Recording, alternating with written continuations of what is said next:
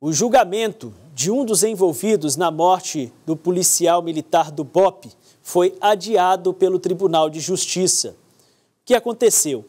O advogado de defesa apresentou um atestado médico e conseguiu remarcar o júri.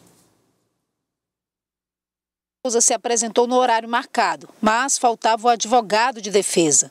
Arnaldo Ferreira Silva Júnior enviou um atestado médico ao Tribunal Popular do Júri para justificar a ausência. Ele pedia o adiamento da audiência, alegando que passou a noite toda no hospital tomando medicação e não teria condições de realizar a defesa.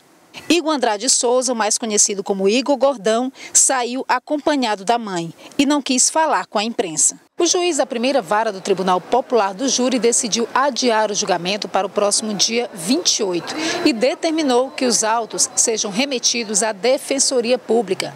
O objetivo é que, se o advogado do réu vier a faltar novamente, a defesa dele seja assegurada, garantindo o cumprimento do julgamento. Frustração para a família da vítima, que aguarda o momento há dois anos e meio. Eu espero que realmente saia nesse dia, né? até porque o juiz também é, vai citar também a Defensoria Pública, que mesmo que esteja ausente, pelo que eu entendi, é, a Defensoria tem que se manifestar, né?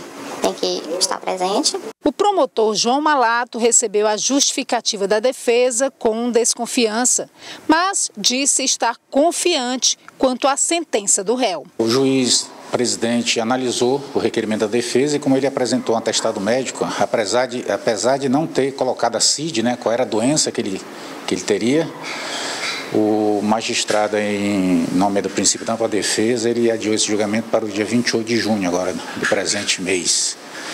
Mas é, creio que não haverá problema, porque as, as provas são contundentes em relação ao acusado.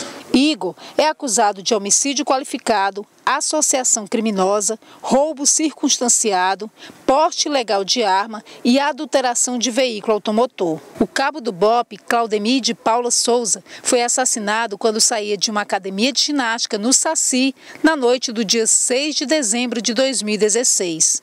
Oito pessoas foram presas, entre elas a então noiva da vítima, Maria Ocionira Barbosa de Souza, e Leonardo Ferreira Lima, funcionário da Infraero, os dois apontados como autores intelectuais do crime. Em janeiro de 2018, o juiz Antônio Noleto pronunciou todos eles, levando-os à júri popular, mas decidiu pela soltura até o julgamento.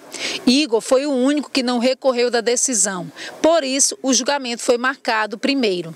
Para a família da vítima, o choque e a angústia permanecem fortes. E chega ao fim que a justiça seja feita, né, na justiça do homem, conforme a lei determinar, para que a gente siga em paz, para que meu irmão tenha paz.